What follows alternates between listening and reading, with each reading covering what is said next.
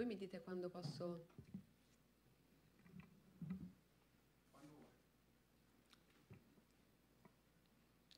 Buonasera a tutti e benvenuti sia ai presenti che a chi ci segue online a questo giovedì dei musei in regime appunto misto. Eh,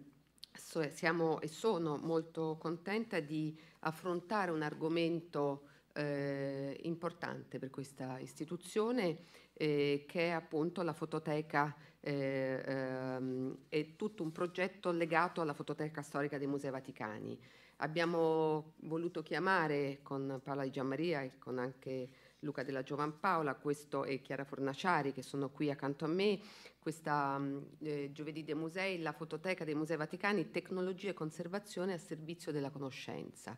eh, per dare in qualche modo eh, così sintetizzare quello che è il progetto che presentiamo stasera, che è un progetto importante, innovativo, eh, che dà conto di una, di una, collezione importante che generalmente appunto non è così conosciuta come la fototeca storica dei musei, inserita eh, nella tecnologia eh, che eh, questi musei ormai affrontano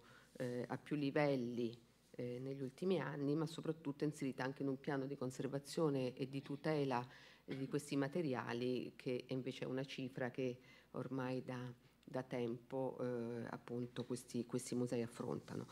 E, mh, mm, forse si può mandare l'immagine. Nel 1883 Papa Leone XIII Pecci commissionò al pittore romano Domenico Torti un dipinto raffigurante l'allegoria delle arti, quale ornamento appunto della volta della Galleria dei Candelabri all'interno dei Musei Vaticani, nel corridore superiore appunto del, dei musei. Eh, negli anni della questione romana, appunto, il pontefice si dedicava ai suoi musei e alla divulgazione della devozione cristiana attraverso le diverse forme di espressione artistica. Torti realizzò, la vedete dietro di me, la vedete come immagine, un'allegoria figurata dove la fede benedice, sovrintende e protegge le arti che le rendono giustamente dovutamente omaggio. Pittura, scultura, architettura, considerate le arti maggiori, ma se guardate bene, forse possiamo andare alla successiva, ehm, oltre alle arti maggiori, alt- anche gli altri modi di esprimere l'invisibile sono raffigurati in, questa, in, questo dipinto, l'arte tessile, quella dell'intaglio e incredibilmente quella fotografica rappresentata appunto come eh, veramente la prima rappresentazione di, della macchina fotografica nel modello Daguerre-Giroux eh, del 1839. Non è un caso, e questo è importante sottolinearlo, che a pochi anni dalla sua invenzione, grazie a un pontefice come Leone XIII, che è il primo del quale abbiamo tra l'altro una ripresa filmata del 1898, eh, nella quale tra fa un atto di benedizione, quindi benedice in un video eh, da una carrozza in movimento nei giardini vaticani, il pittore aveva voluto immortalare eh, fra le diverse arti appunto anche quella fotografica. Queste testimonianze sono ed è un fortissimo segnale dell'interesse del papato che ha sempre riservato alla divulgazione artistica nelle sue forme più diverse, in special modo a quelle che in qualche modo traducevano icone ed emblemi universali dell'arte e della fede, quindi veramente dei preziosi strumenti di evangelizzazione, ma sono anche gli indizi che mostrano l'attenzione pontificia verso l'innovazione, l'impiego di mezzi espressivi sempre all'avanguardia, l'utilizzo appunto sia della stampa di traduzione, pensiamo a Raffaello, a Marcantonio Remondi nella Roma rinascimentale, che, pertò, che portò però eh, nel Settecento alla formazione della calcografia camerale appunto nell'ambito della curia pontificia, ma anche a tutte le campagne poi fotografiche di metà Ottocento, eh, metà e fine Ottocento, ehm, di cui parleremo e ci parlerà anche ehm, ehm, Paola Di Gianmaria fra poco, ma anche alla Radio Vaticana a, sotto Pio XI, pensate alla potenza appunto della comunicazione eh, che eh, Papa Ratti volle chiamando eh, Guglielmo Marconi appunto a ehm, impiantare la Radio Vaticana eh, agli inizi degli anni 30 e 900 dentro appunto lo Stato Vaticano e, e, quindi, ma anche se poi andando oltre, anche l'attenzione verso la settima arte sfociata poi nella creazione della Filmoteca Vaticana e del Centro Televisivo Vaticano sotto Giovanni Paolo II.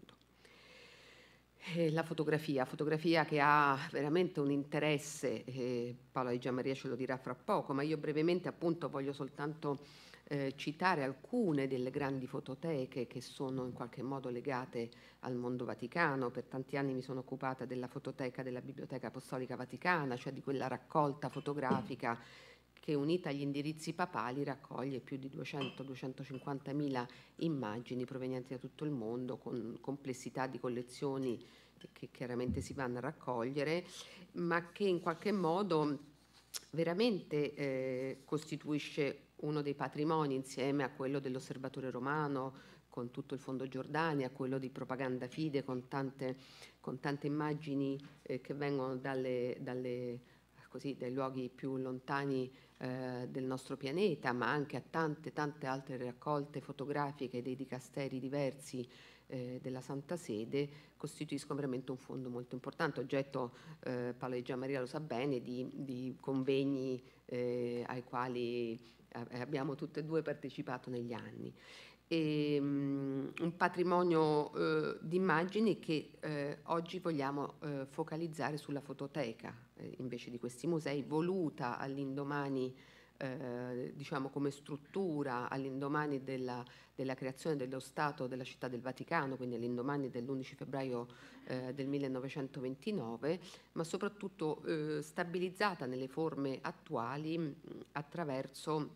la costruzione cosiddetta eh, eh, cosiddetto edificio della Pinacoteca voluto eh, da Pio XI grazie al progetto eh, ancora solido e, e, imponente di Luca Beltrami eh, che insieme a Bartolomeo Nogara, Biagio Biaggetti volle appunto non soltanto la collezione di, di dipinti mobili nel piano, diciamo, nel piano eh, di base, ma i laboratori di restauro nella, nella parte che si trova appunto nella, nella, nella, nel piano in, diciamo sul, sul, giardino, sul giardino quadrato, ma soprattutto volle gli uffici di direzione e tutto quello che serviva a, a, a, in qualche modo a gestire un museo importante come erano i musei vaticani aperti al mondo grazie appunto alla volontà di Pio XI ehm, attraverso appunto non soltanto l'ufficio di direzione ma attraverso la biblioteca, l'archivio storico, l'inventario generale e una fototeca. E questa fototeca che è andata evolvendosi nel, nel, corso di questi ultimi anni, chiaramente grazie a una curatela eh, appunto attenta, Paola Di Gianmaria appunto lo racconterà a breve, è andata arricchendosi di fondi, eh, il fondo Moscioni è uno dei più eh, rilevanti, eh, ma ce ne sono tanti altri, è così variegata e mi piace anche stasera annunciare che in occasione appunto della presentazione di un progetto ben più complesso eh, c'è anche un'importante eh, nuova acquisizione di questa fototeca che è quella di eh, del Fondo Andrea Busirivici, un, un, architetto romano, qui saluto e ringrazio alcuni delle sue eredi, che hanno voluto eh, appunto eh, donare questa fototeca a complemento, proprio perché Andrea Busirivici è stato un architetto ma anche uno storico dell'arte, interessato soprattutto in quella, mh, eh, di quell'ambiente, compagine che era la pittura romana del 6, 7, 800, molto legata alle committenze papali e quindi assolutamente appunto confrontandoci con Paola di Gianmaria abbiamo capito che andava a mecciare perfettamente con eh, un termine così eh, eh, però ecco, eh, si integrava in qualche modo, eh, poteva essere complementare alla fototeca eh, esistente all'interno de no della nostra istituzione, quindi eh, è, è, un bel momento. Abbiamo ricordato la fototeca Zeri nel giovedì dei musei del 4 novembre scorso e anche il lascito Zeri importante. Ecco, Andrea Busirivici e Federico Zeri in qualche modo si possono considerare eh, delle figure assimilabili per alcuni, per alcuni, versi, sicuramente le loro fototeche si assomigliano, sappiamo che quella di Zeri è, nella Fondazione Zeri di Bologna, appunto invece eh, acquisire alla nostra fototeca quella di Andrea Busirivici è sicuramente un arricchimento per la nostra istituzione. E, ehm, la, la, il progetto, appunto, quello che invece vorremmo e, e, intendiamo, e lascio presto la parola eh, a chi entrerà nel dettaglio, è un progetto molto articolato, un progetto che ehm, già ormai da diversi anni ha, ha, visto la valorizzazione di questo fondo fotografico non soltanto attraverso una sua nuova sistemazione, abbiamo fatto dei lavori, spostato la biblioteca, dato più spazio alla fototeca, ma soprattutto abbiamo iniziato con una volontà eh, eh, e attenzione alle tecnologie e, e, soprattutto alla condivisione, che è una delle nostre missioni, a quella di condividerlo attraverso il, eh, il nostro catalogo del, um, online. E quindi ehm, questa, la, l'intera eh, diciamo, eh, raccolta è stata, eh, se vogliamo, è stata oggetto appunto di un progetto specifico coordinato da Paolo Di Gianmaria, ma con anche i collaboratori del suo reparto, Francesca Martuscello che è qui accanto a me e Cristina Gennaccari, che hanno in sinergia meravigliosa collaborato con eh,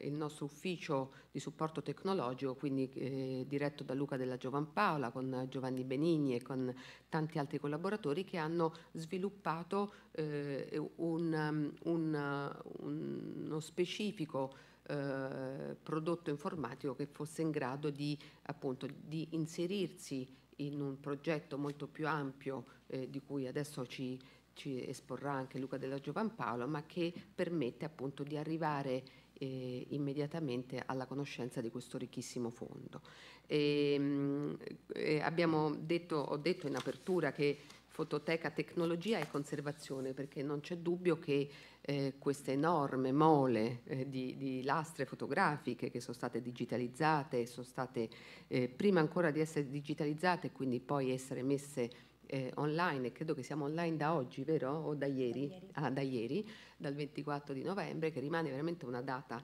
importante che eh, si va a unire anche questo eh, importante reparto eh, a, al catalogo online nostre, dei nostri reparti, delle nostre collezioni e delle opere esposte che ormai è già online da un po' di tempo, ma ecco anche questo, questa, questa parte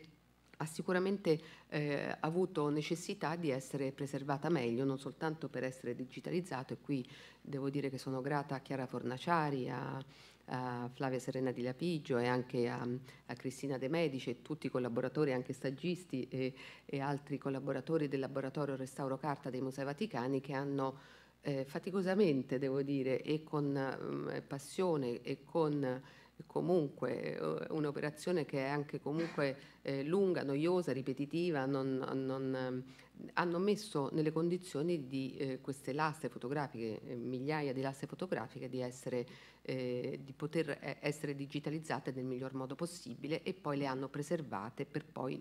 speriamo non essere più toccate se non appunto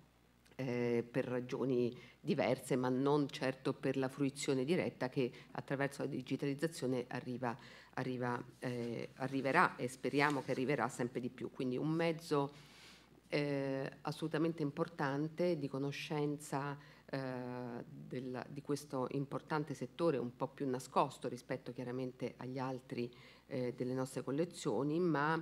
un, un mezzo è, un progetto che veramente è il sinonimo di, di questi musei di cosa siamo noi, Musei Vaticani nel XXI secolo, frutto di sinergie diverse, di competenze diverse che lavorano eh, assolutamente per la missione dei musei, che è quella di preservare ma soprattutto condividere queste collezioni universali eh, dell'arte che abbiamo ricevuto dal passato e che sentiamo come missione di condividerle alle generazioni future. E questo sicuramente è un mezzo, la pandemia ce l'ha insegnato bene, ma questo è anche uno strumento di ricerca eh, e di approfondimento delle nostre collezioni che, eh, che appunto oggi eh, eh mette una, una, una, pietra ancora più solida eh, in questa attività così importante.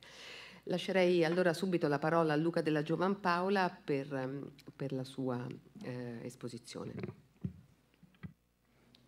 buonasera, intanto volevo ringraziare eh, io voglio iniziare subito dai ringraziamenti perché questo progetto non sarebbe stato possibile essere realizzato eh, se non ci fosse stata eh, la collaborazione non soltanto eh, nei Musei Vaticani da parte di tutti quanti i settori, i reparti interessati, i laboratori interessati, ma da parte della direzione delle telecomunicazioni, che ci ha consentito di realizzare una solida infrastruttura hardware e una solida infrastruttura di network per poter esporre tutto quanto il lavoro che poi dopo è stato fatto dai nostri colleghi. Eh, soprattutto la, le, il merito di questa attività va, come già detto dalla dottoressa Iatta, a Giovanni Benigni e a Giovanni Di Giorgio che si è occupato di tutta quanta la parte di infrastruttura sistemistica che sono le cose che si vedono di meno. Chi fa il nostro lavoro a volte eh, sa che eh, ci si accorge di alcune cose soltanto quando non funzionano. In realtà per farle funzionare è sempre abbastanza complesso. Eh, da dove parte mh, mh, questa idea di nuova architettura eh, digitale dei musei vaticani? Eh, ognuno di noi che lavora all'interno dei musei ha un proprio punto di vista, cioè vede mh, il centro del proprio lavoro, che è costituito dalle opere d'arte che sono ospitate nei musei, in una certa maniera. Può esserci il punto di vista del, uh, del visitatore, il punto di vista del restauratore, il punto di vista di chi si occupa della sicurezza all'interno dei musei, il punto di vista di chi deve catalogare le opere all'interno dei musei. E qui anche volevo ringraziare eh, l'ufficio di inventario generale e eh, soprattutto Alessandro Uncini perché eh, noi per poter iniziare e portare avanti questo lavoro ci siamo basati pesantemente sul grosso lavoro che era stato fatto negli anni precedenti di catalogazione per quanto riguarda le opere mobili. C'è poi dopo il punto di vista eh, dell'archivio storico, c'è un punto di vista per esempio dell'editoria, c'è un punto di vista per chi si occupa delle mostre, c'è un punto di vista infine per chi si occupa della fototeca. Tutto questo era stato fino a qualche anno fa gestito attraverso sistemi informatici eterogenei, quindi diversi, a volte non connessi tra loro, con informazioni, formati e mh, anche metodi di eh, inserimento delle informazioni differenti.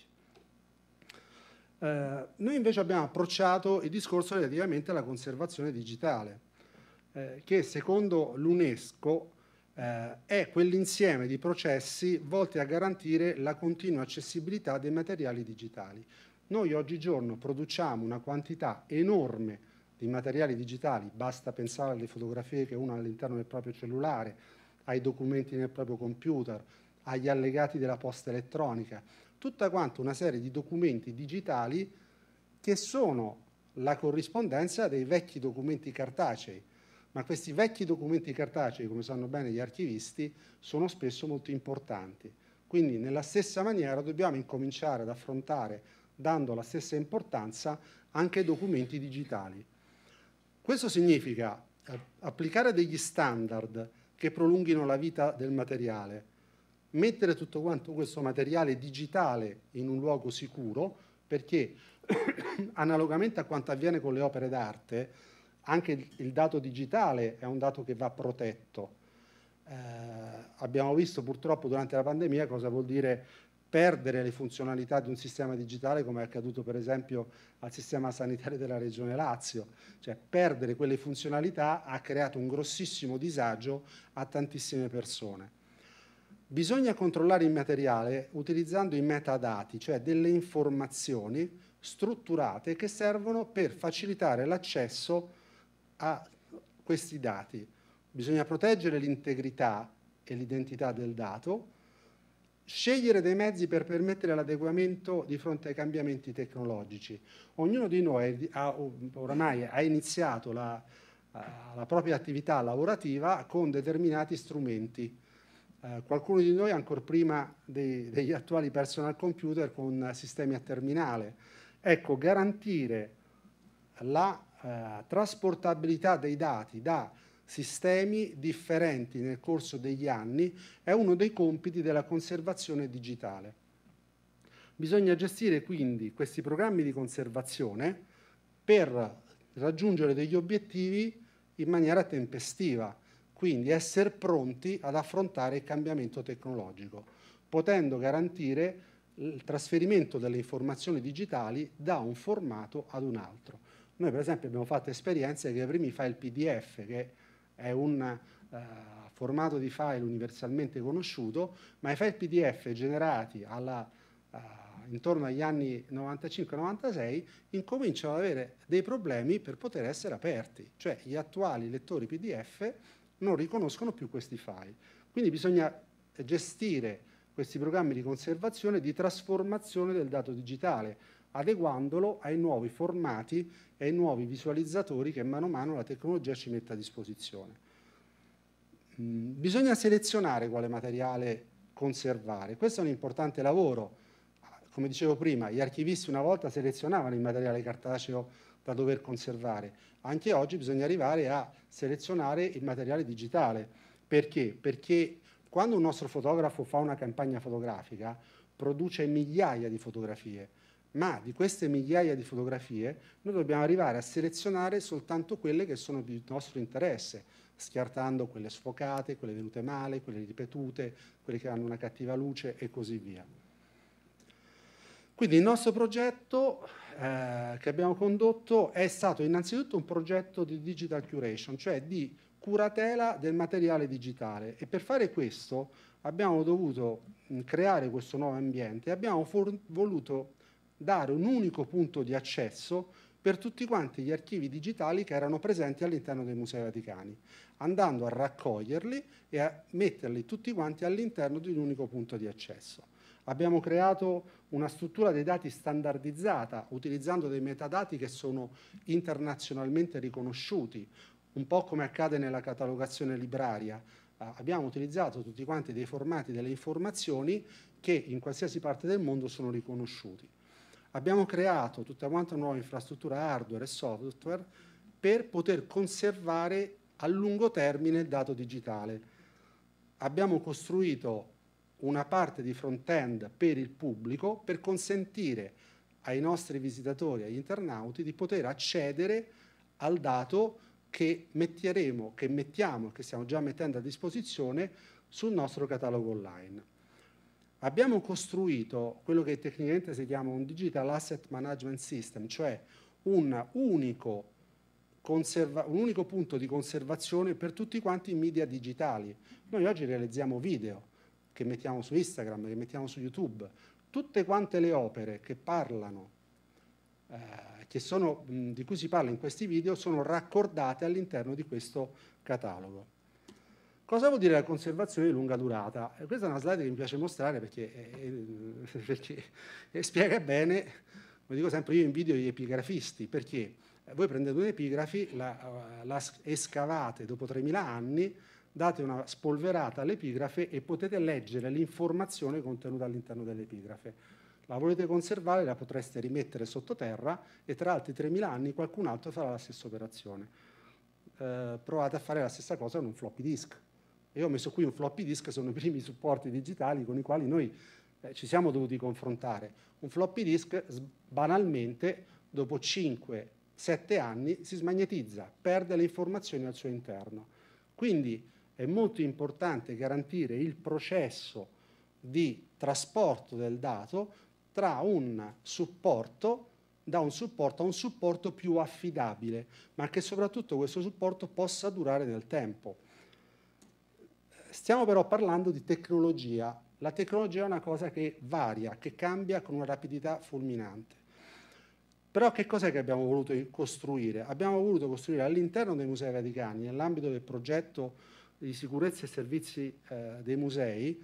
è stato costruito un data center che ospita tutti quanti i nostri server che ci occorrono per erogare servizi ai visitatori, che è proprio conservata all'interno, è, è una stanza che abbiamo letteralmente rubata all'interno, all'interno della sezione epigrafica. E è una magnifica bunker di cemento armato, all'interno del quale abbiamo costruito questa server farm con un sistema di conservazione di dati di lunga durata. Qual è il sistema in questo momento che ci dà la maggiore affidabilità nel tempo? È ancora il sistema nastro, cioè il sistema nastro ci è garantito per almeno 20 anni. Capite bene come 20 anni sia un range temporale così breve rispetto a quello che è l'arco temporale di conservazione di un'opera. Cioè un'epigrafe, come dicevo prima, si conserva per migliaia di anni. Un dato digitale no. Abbiamo quindi eh, costruito questa data center con questi strumenti di conservazione di lunga durata che sono accessibili all'interno della rete eh, del, del, governatorato dello Stato città del Vaticana e, ma, e che sono anche stati resi disponibili all'esterno per quanto riguarda eh, il, il web. Perché questa nuova architettura digitale? Appunto, perché l'abbiamo chiamato nuova architettura digitale? Per avere un unico punto di accesso a tutte quante le informazioni non avere più sistemi sparsi eterogenei che, oppure dati che siamo dovuti andare a recuperare da PC di colleghi che stanno andando in pensione. Abbiamo sostituito un'architettura web-based a un'architettura di tipo client server, cioè un'architettura di tipo internet a un'architettura di tipo PC. Il personal computer oggi non, un, non viene più utilizzato per l'elaborazione, ma è utilizzato per l'accesso al dato informatizzato. Abbiamo cambiato totalmente il tipo di approccio sul software, passando da dei software proprietari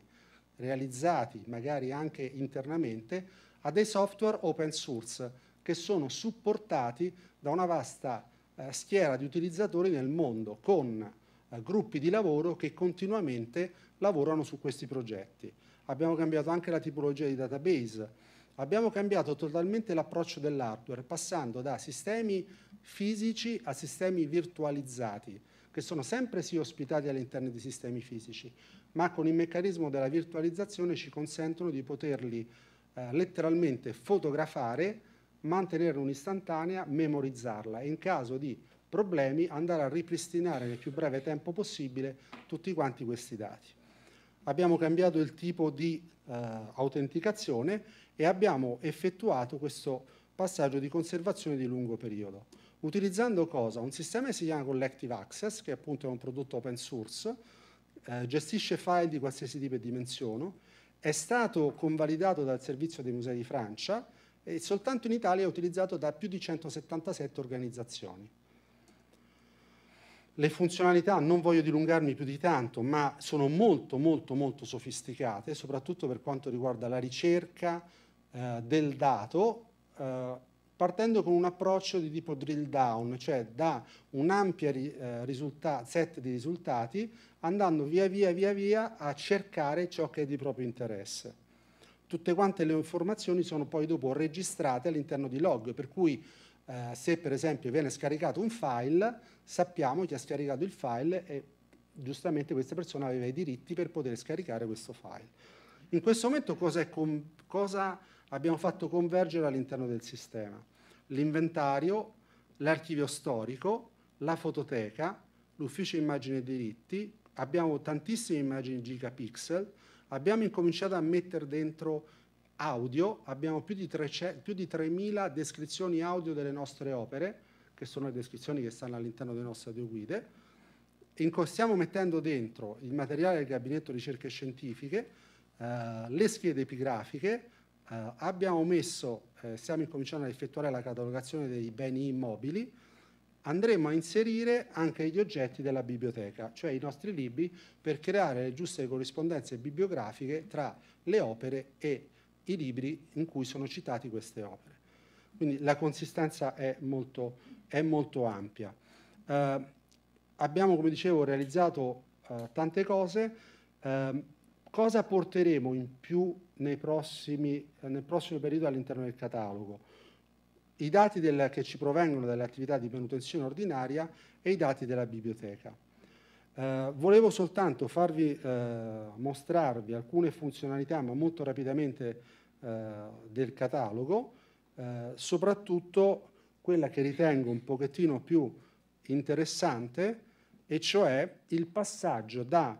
eh, un, da sistemi di tipo fotografico a sistemi di tipo eh, tridimensionale. Questo ritengo che sia un po' come Leone XIII celebrava nella sua allegoria i nuovi strumenti di,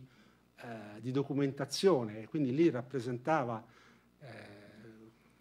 una macchina fotografica, un daguerrotipo dell'epoca, quindi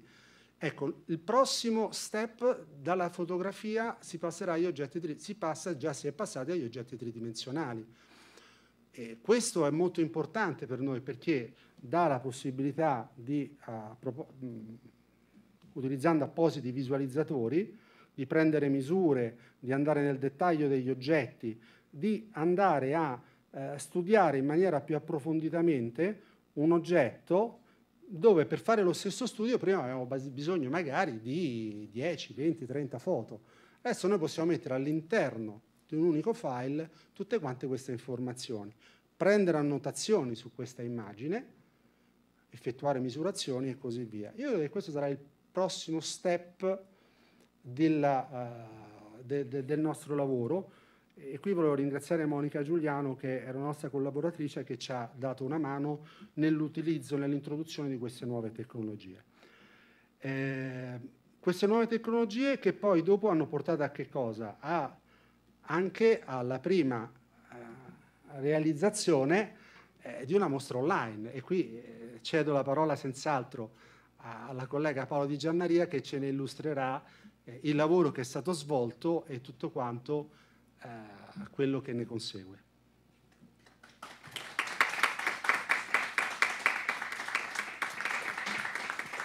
Grazie Luca di, di, questa panoramica che veramente ci fa capire come la nuova architettura digitale dei musei vaticani, l'uso di collective access, ma veramente l'attenzione alla tecnologia a servizio della conservazione della divulgazione è, è, è, la cifra del nostro museo in questo periodo. Quindi ringrazio te, ringrazio i tuoi collaboratori, appunto Giovanni Di Giorgio che prima non ho nominato e quindi lo ringrazio anche a lui insieme a Giovanni Benigni che avevo già nominato per eh, questo coordinamento eh, tecnico che però non è soltanto tecnico perché eh, è, è, un co- coordinamento veramente di intenti verso, eh, verso un, un, obiettivo comune. Ecco, la parola adesso a Palaigia Maria che eh, con orgoglio giustamente sì. presenta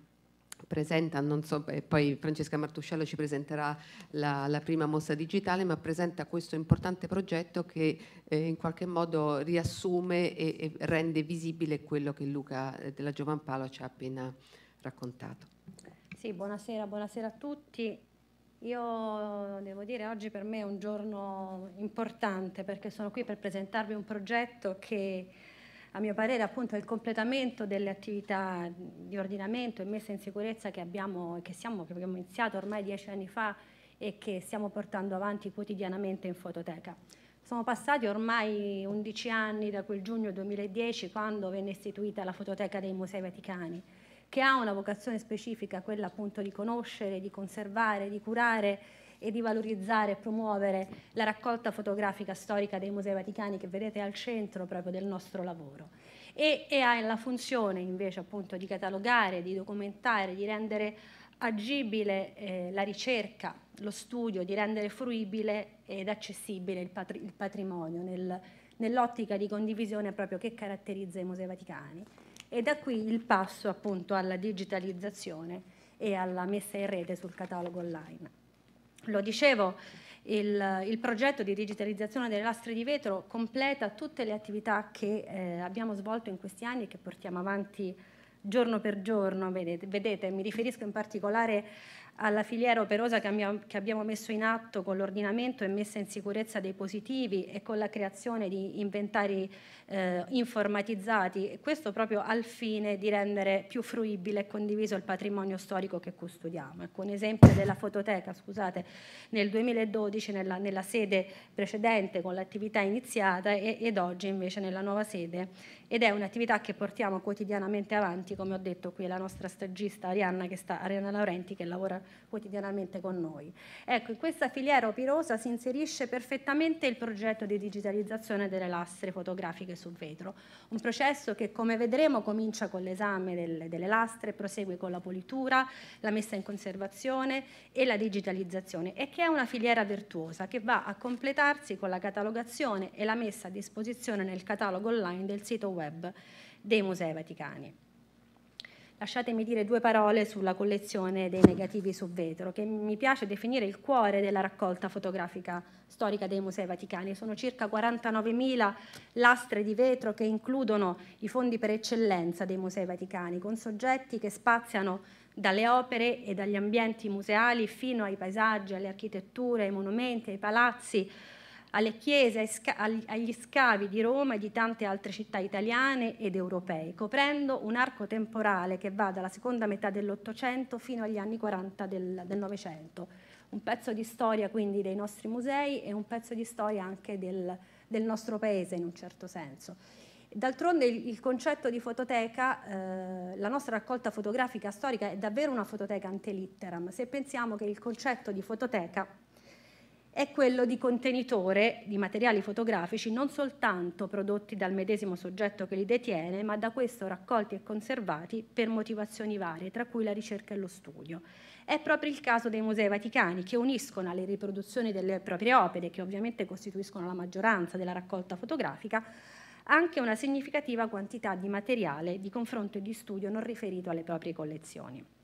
raccolta che poi viene ampliata anche grazie a donazioni e lasciti. Sono felice, il direttore lo ha appena ricordato, è recentissima la donazione che Barbara Iatta ha fatto alla fototeca del fondo fotografico intitolato a suo nonno Andrea Busirivici, non solo noto architetto ma anche stimato storico dell'arte che nell'arco della vita ha raccolto una, una vera e propria fototeca con circa 100.000 unità che riguardano la storia dell'arte moderna, il collezionismo e quant'altro.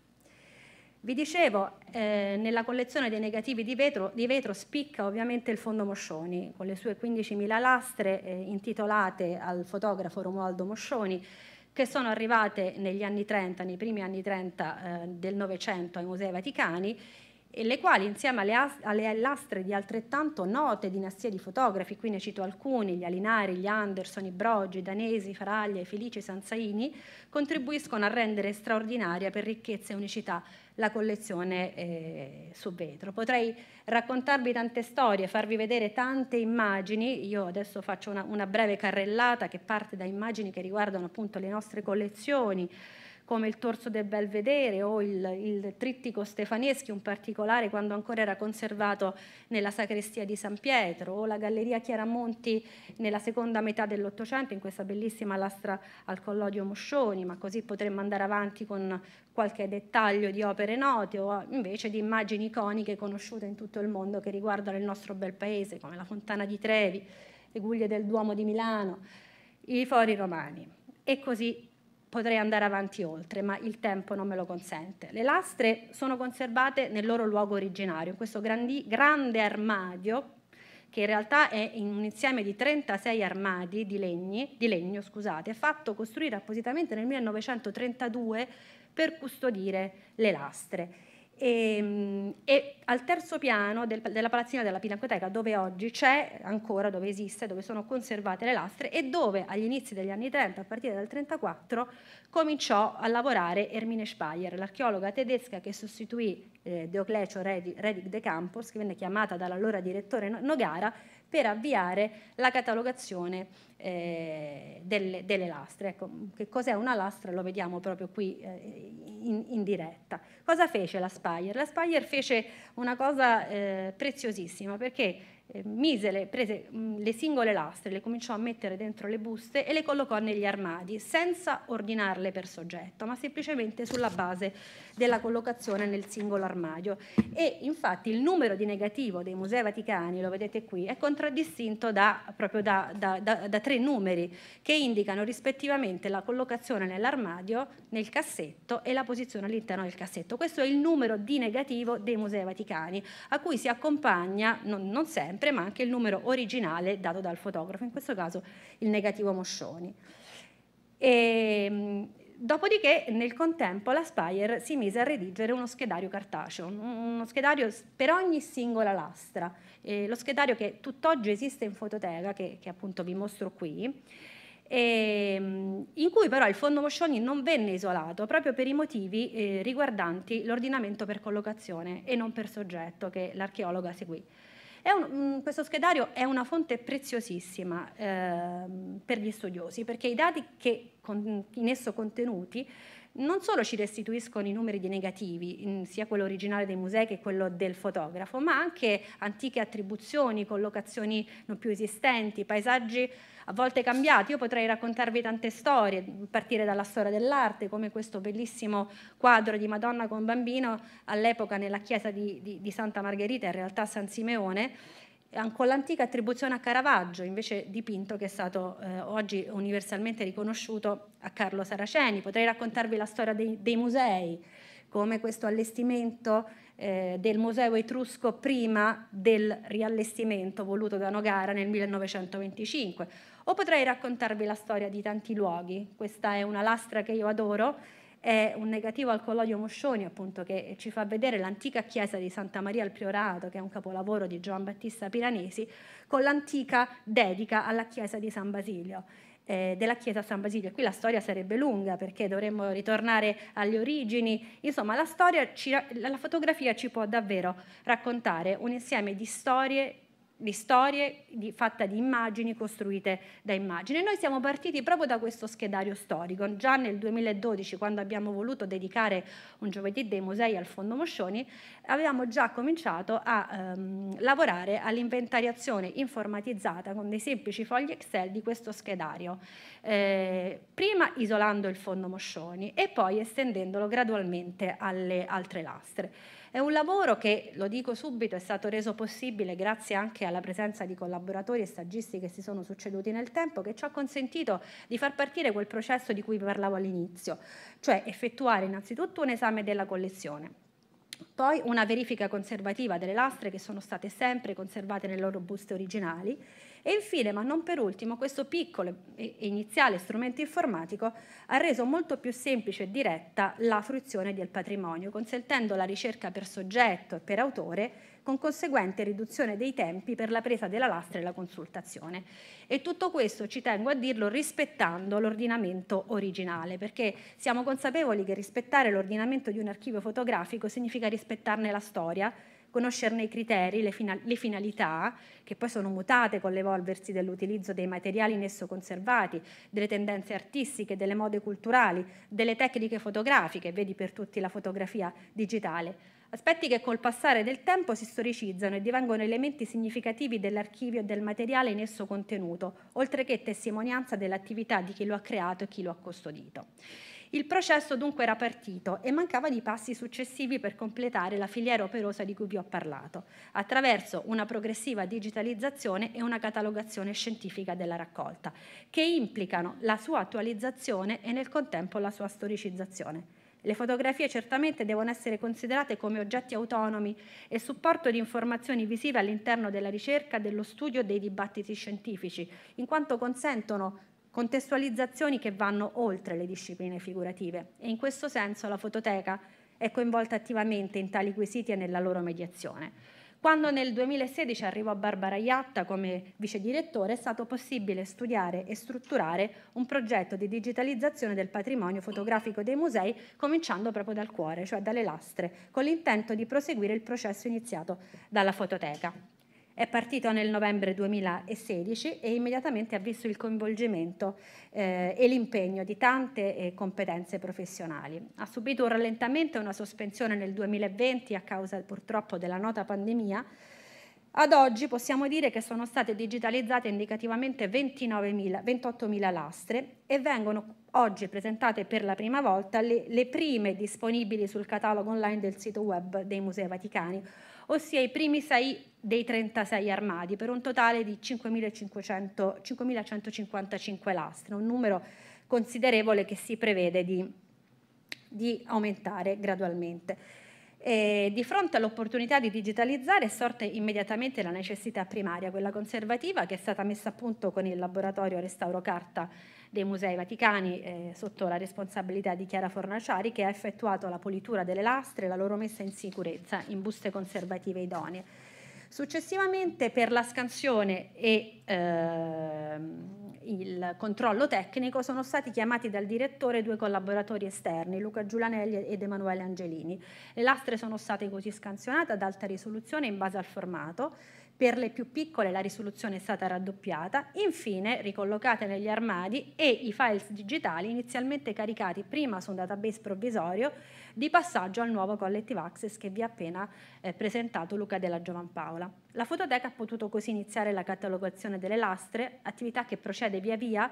consentendoci una, una, conoscenza direi minuziosa di questo eccezionale patrimonio. I primi dati scaturiti da questo lavoro sono ora disponibili nel catalogo online dove sono già accessibili le schede dell'inventario generale. A me il compito iniziale è intanto di illustrarvi la scheda che accompagna ogni singola lastra, i cui contenuti sono stati elaborati ed inseriti nel database dall'ufficio, che è costantemente attivo nel controllo e nell'aggiornamento dei dati, sempre in collaborazione con l'inventario generale, che ringrazio, e con i reparti scientifici, che ringrazio. Che ringrazio. Eh, siamo due storiche dell'arte, io, Francesca Martuscello, un'archeologa, Cristina Gennaccari, e hanno collaborato via via anche eh, stagisti e contrattisti. Mi piace ricordare Alessia Lobosco che ha sostituito Francesca in maternità, un'altra storica dell'arte, e ultimamente anche Arianna Laurenti, nostra stagista, ci sta aiutando.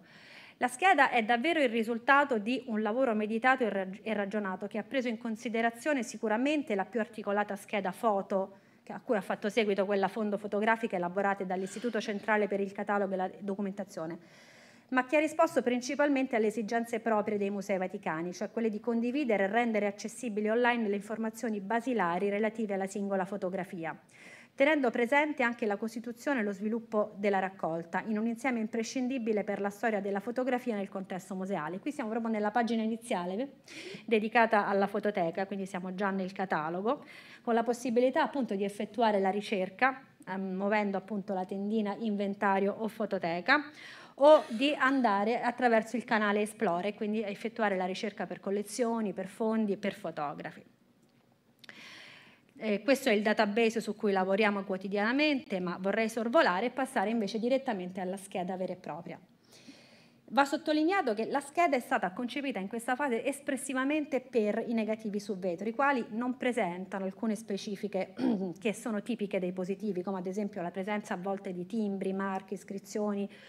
sul supporto cartaceo. Di conseguenza anche i campi sono stati per il momento predisposti secondo queste esigenze di catalogazione. Sostanzialmente articolata in due sezioni, la più ampia dedicata all'oggetto foto e riporta i dati della fotografia a cui viene dato in alto un breve titolo mh, riferito al soggetto raffigurato. Poi la vedete, si passa alla segnatura che indica il numero, musei, il numero di negativo dei musei, l'appartenenza eventuale al fondo e la tipologia d'oggetto, in questo caso negativo, e poi si, passano, si passa ad esaminare tutti i dati tecnici relativi alla foto, all'oggetto foto, quindi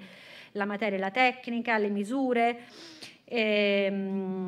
la, la, didascalia originale quando presente e eh, la scelta anche di rendere visibile la scheda storica F, cioè la scheda storica della, dell'archivio fotografico, che in sintesi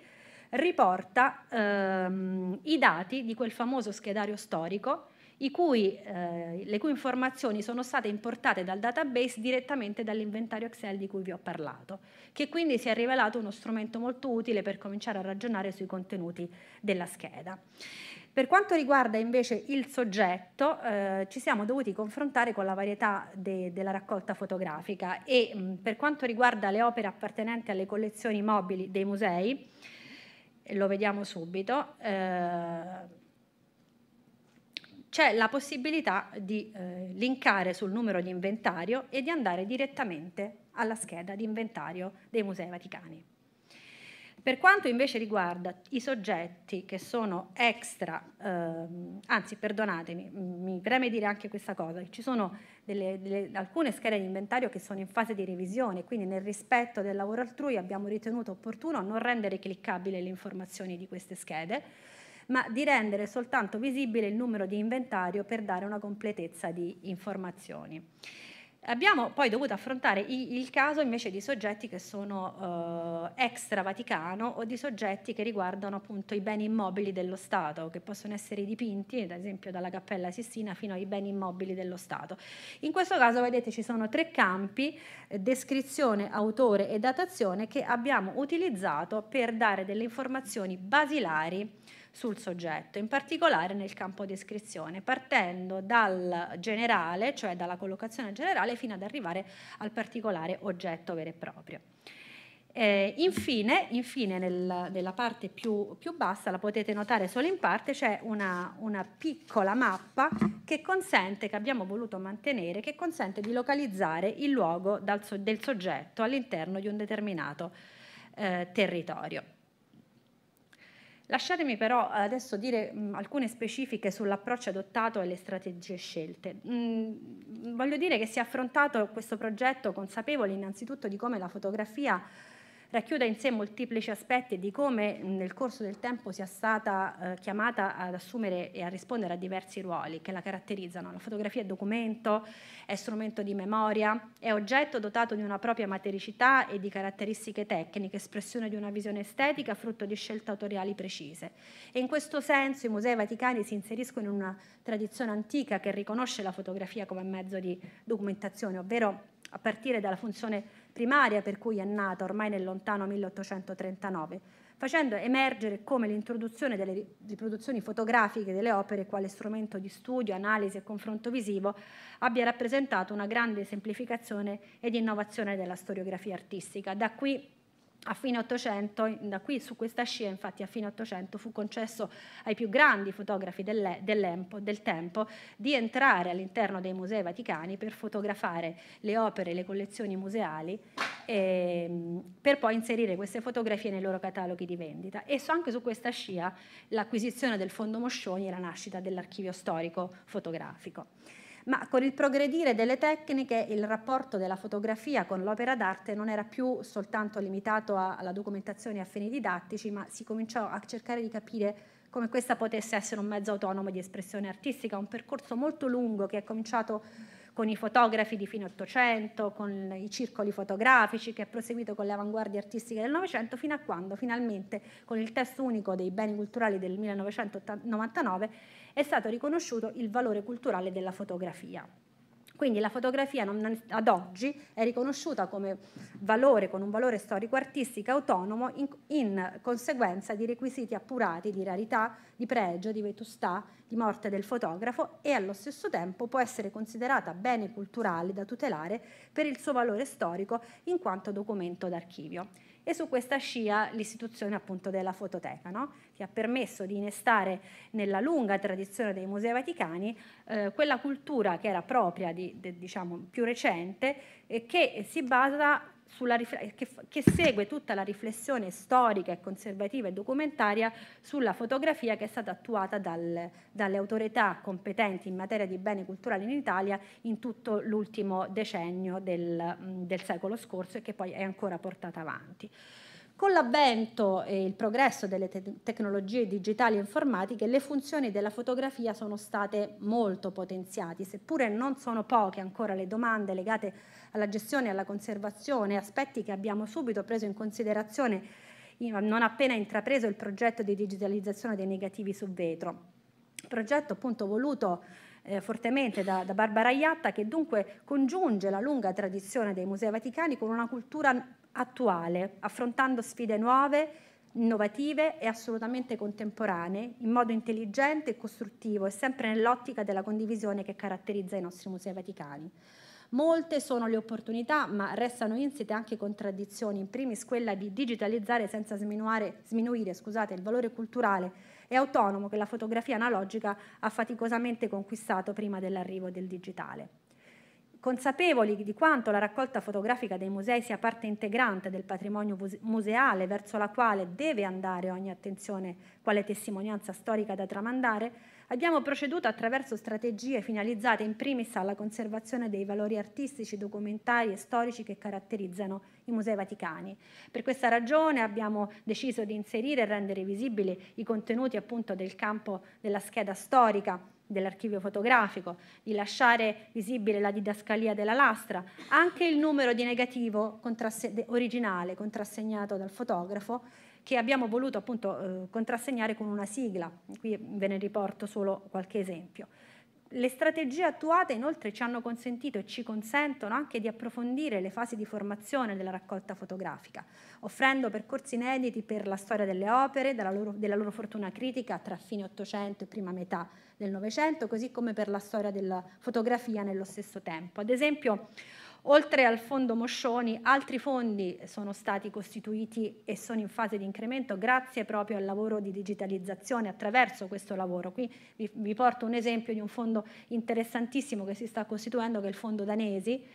che è intitolato appunto alla, alla ditta danesi, il cui capostipite era il napoletano Michele, Michele Danesi, che ha realizzato all'interno dei Musei Vaticani una, una serie preziosa di lastre che riguardano le collezioni egizie ed etrusche. Ma come vi dicevo, ehm, abbiamo potuto effettuare anche un focus sui procedimenti più usati per i negativi eh, su vetro in quasi un secolo di storia della fotografia, a partire dal 1865 eh, fino al 1940, quando fanno la, la prima comparsa le, le, le pellicole su acetato. Abbiamo potuto vedere i passaggi delicatissimi dal collodio alla gelatina bromuro d'argento. Il collodio umido era una tecnica Eccone qui un esempio, questa è Piazza Medina a Napoli. Il colloio umido era una tecnica molto raffinata, molto sofisticata, ma di grande, di tempi molto lunghi nella realizzazione. Mentre il, con il passaggio alla gelatina, pensate, qui siamo, anni, qui siamo già negli anni 30-40 del secolo, ancora si facevano lastre su vetro, eppure le pellicole erano già comparse eh, abbiamo potuto appunto eh, vedere come i musei erano implicati eh, in questi delicati passaggi. perché? Perché ospitavano i fotografi più importanti del tempo e i documenti ce lo confermano. Questo peraltro non fa altro che ribadire come la fotografia sia anche un anello di congiunzione tra i dati d'archivio e i dati bibliografici. Ecco, ad esempio, nel registro dei permessi che i, la direzione dei musei accordava a copisti e fotografi alla fine dell'Ottocento, c'è un permesso registrato del 13 giugno a Domenico Anderson per alcune foto in pinacoteca, in cui si fa espressa eh, richiesta che il, il, fotografo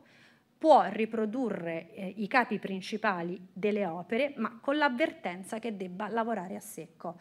quindi abbandonando di fatto la, la, la, tecnica del collodio umido e questo per ragioni evidentemente conservative, per non sostare troppo a lungo nelle, negli ambienti che ospitavano le collezioni vaticane, in particolare negli ambienti che custodivano le, mh, le opere pittoriche. In sintesi, eh, è una catalogazione che ha come fine quello di restituire i livelli di informazione presenti in archivio, dunque in fototeca,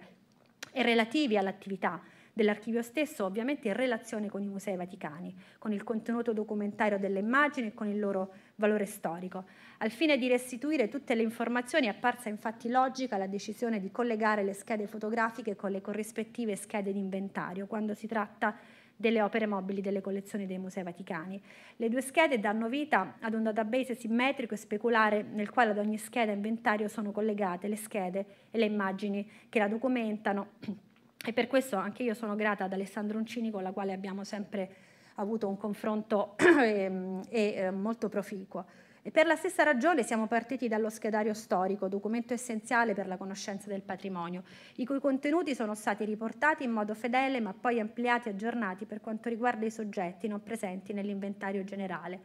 Questo nella, nella sezione della scheda dedicata appunto al soggetto riprodotto. E dunque ormai è valorato come la catalogazione e la digitalizzazione delle fotografie costituiscano attività di documentazione dei beni culturali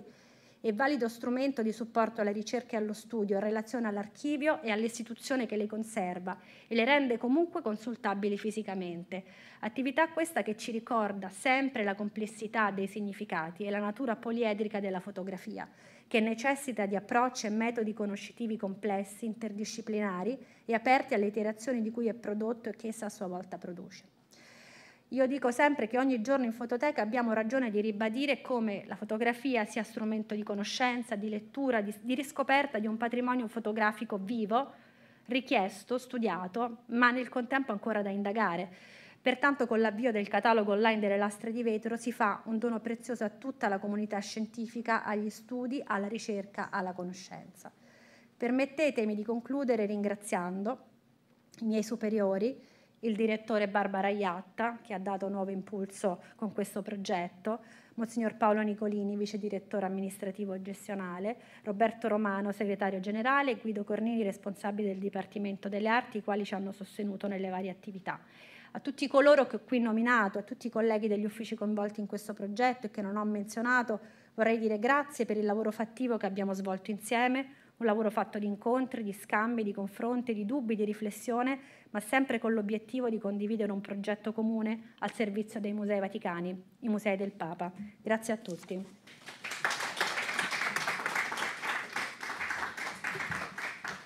Grazie Paola, grazie di questa carrellata anche troppo veloce nell'esposizione perché volevi però assolutamente eh, puntuale eh, in quella che è la vostra preziosa attività, in quella che è questa sinergia che così bene tu hai voluto evidenziare, anche il fatto di spiegare come appunto dalle foto storiche della vostra fototeca ci sia un collegamento con le foto dell'inventario, come ha spiegato Luca della Giovanpaola, con i documenti d'archivio, con i documenti eh, dell'archivio del restauro per le attività di restauro che si sono svolte su quella determinata opera, ma anche i dati video, i dati appunto eh, i, nuovi che in qualche modo riguardano quella stessa opera. Quindi veramente un... Um, una nuova architettura digitale, come l'ha definita giustamente Luca della Giovanpaola, eh, che eh, si completa con i dati appunto realizzati eh, e, e con, la, con, l'intervento di Chiara Fornaciari da Passano che eh, ci racconta cosa è stato fatto su queste lastre e, e hanno e, cosa ci ha permesso appunto attraverso la loro attività di, eh, di, di condividere, di poterle digitalizzare e quindi poi di condividerle.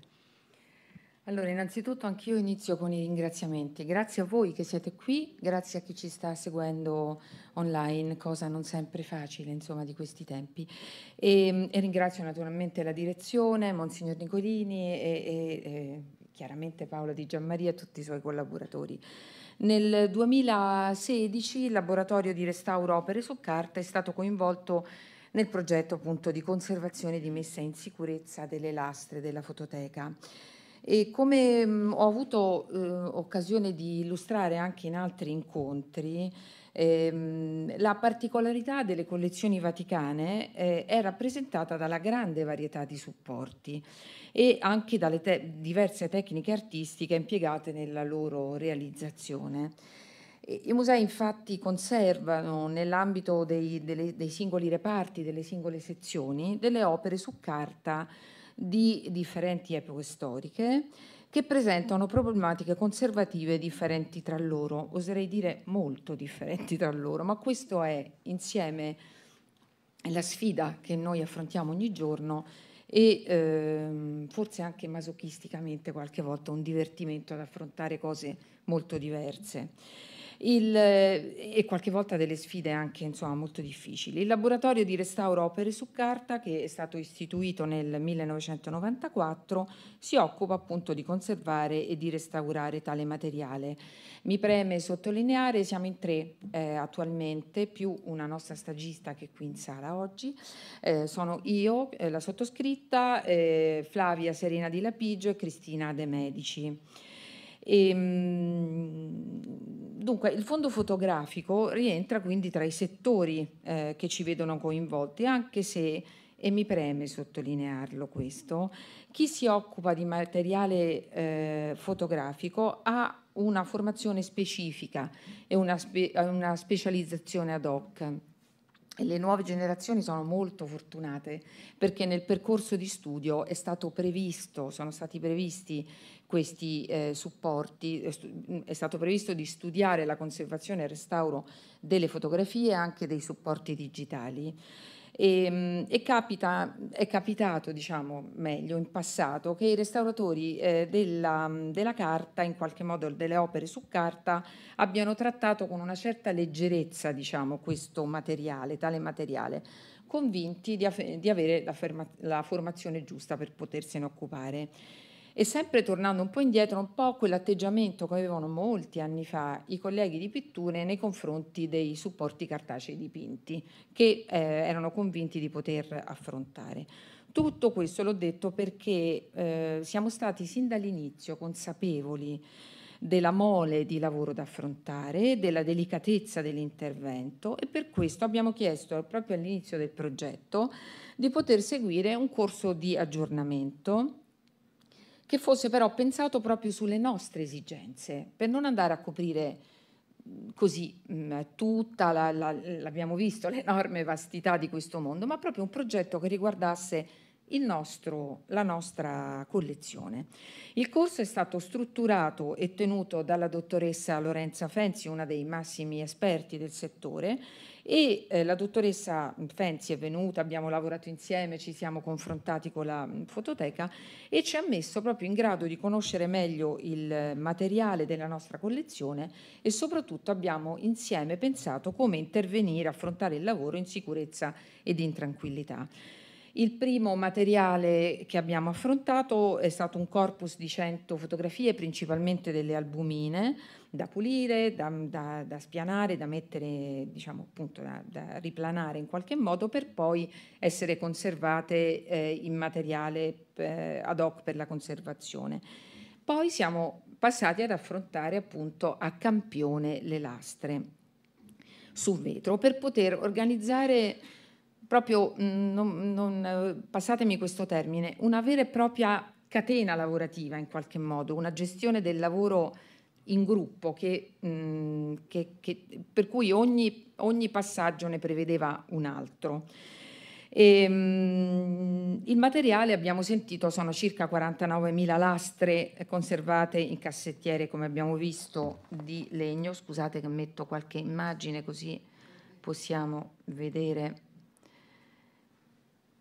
qualche modo che cosa abbiamo fatto, e, appunto in armadi e in eh, cassetti e, e, ogni lassa era conservata in una busta di carta craft, quella carta mh, da pacchio, mille righe, non so come vogliamo chiamarla, che veniva spesso usato per conservare questo materiale.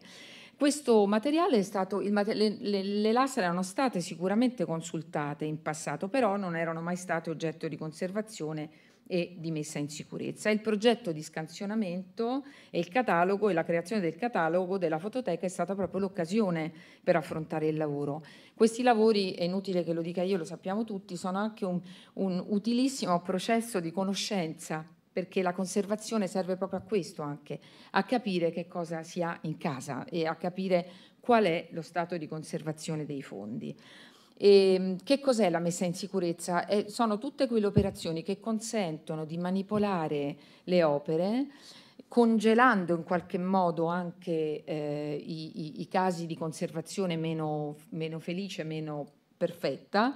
e per poter poi manipolare l'opera e in qualche modo poi intervenire in un secondo momento con un progetto di restauro più eh, definitivo. Quindi il settore scientifico ha indicato i cassetti e gli armadi da cui iniziare, da cui prelevare le lastre, sono state numerate le singole buste nuove in materiale per la conservazione. Ricordo che questo materiale deve avere una certificazione, la cosiddetta certificazione PAT, cioè Photography Activity Test, quindi sono dei materiali che hanno proprio, sono testati per la conservazione di questo materiale e poi soprattutto sulle nuove buste in, eh, appunto in materiale per la conservazione sono state riportate tutte le annotazioni, qualsiasi annotazione, anche quella che a noi sembrava così più inutile, per passare per fare in modo che tutte le annotazioni non andassero perdute. Sono state puliti a fondo i cassetti e gli armadi, ogni lastra è stata controllata, il lato emulsione è stato pulito con un panno morbido, mentre il lato vetro è stato pulito con una soluzione idroalcolica distribuita con della carta morbida e poi asciugata con eh, un panno morbido anch'esso. Ogni lastra è stata collocata in una nuova busta, il cassetto pulito e riempito è stato subito passato diciamo, al settore della scannerizzazione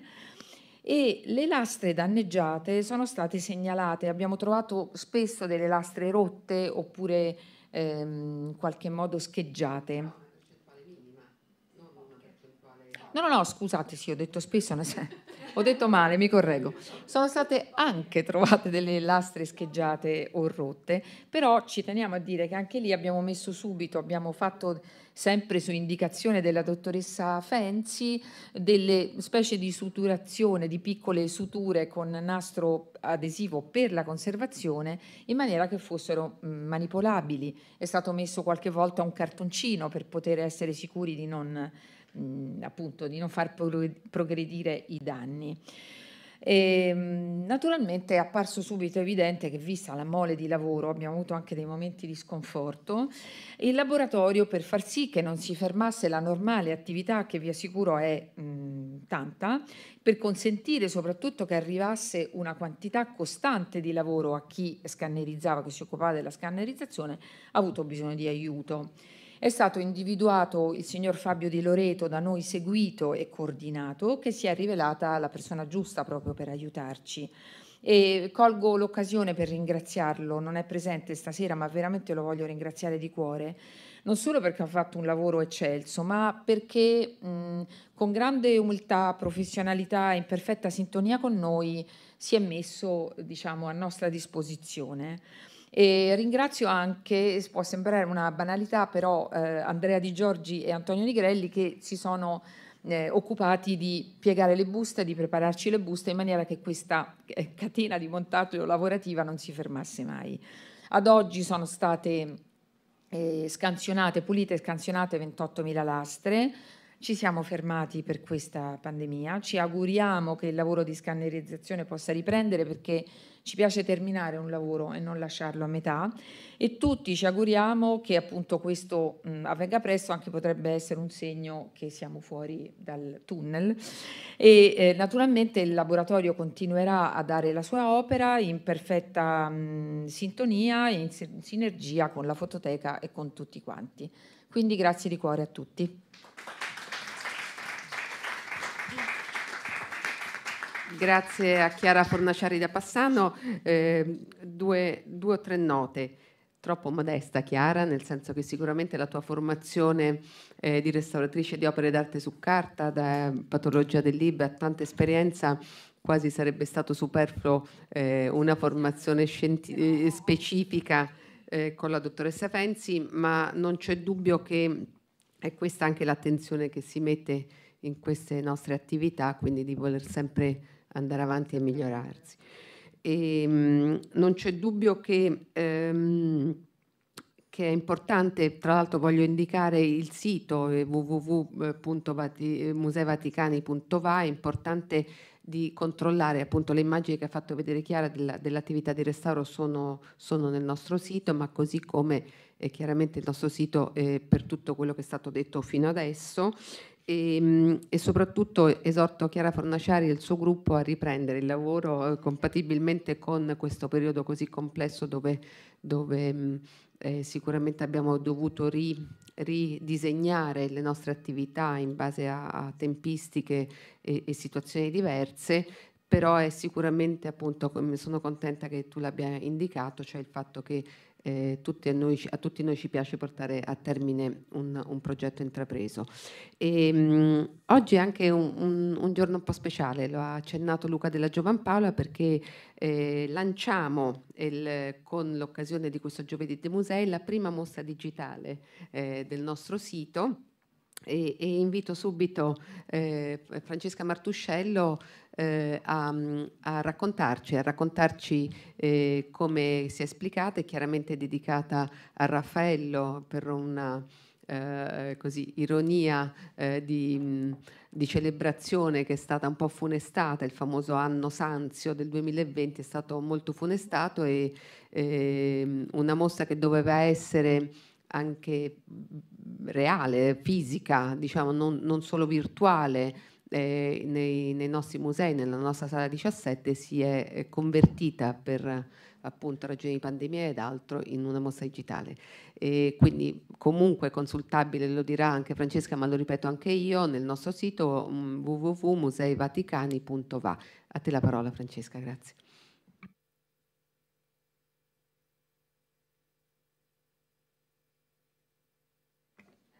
Ci sono? Sono grata ai miei superiori per avermi dato la possibilità oggi di illustrarvi questo lavoro e sono anche lieta di esporlo a voi.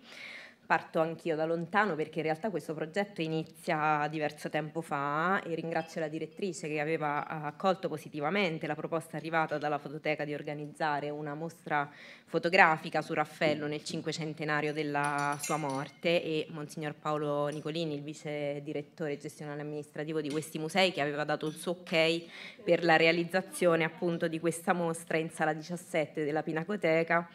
che eh, si sarebbe dovuta tenere dal 28 maggio al 27 settembre del 2020, nell'anno Sanzio appunto, e Paola Di Giammaria che mi ha dato la possibilità di condividere con lei l'organizzazione di questa mostra. Poi però è arrivata una pandemia mondiale quindi ora siamo qui a parlare di altro, per cui all'inizio di questo 2021 abbiamo ripreso in mano le fila del progetto e eh, appunto sebbene la sua materiale realizzazione non è stata possibile e per via di una programmazione poi successiva già mh, stabilita, nuove esigenze anti-Covid, abbiamo pensato che sarebbe valsa la pena non eh, disperdere, non sacrificare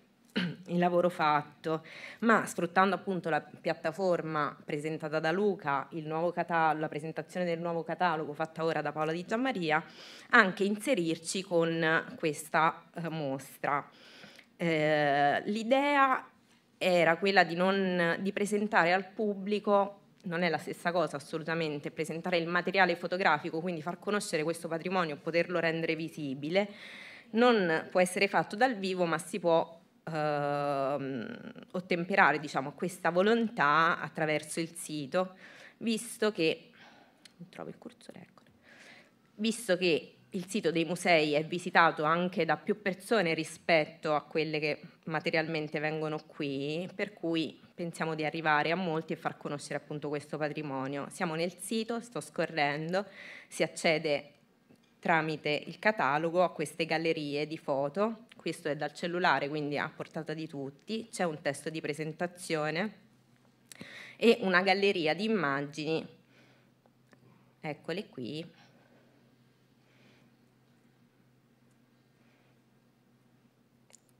le, ehm,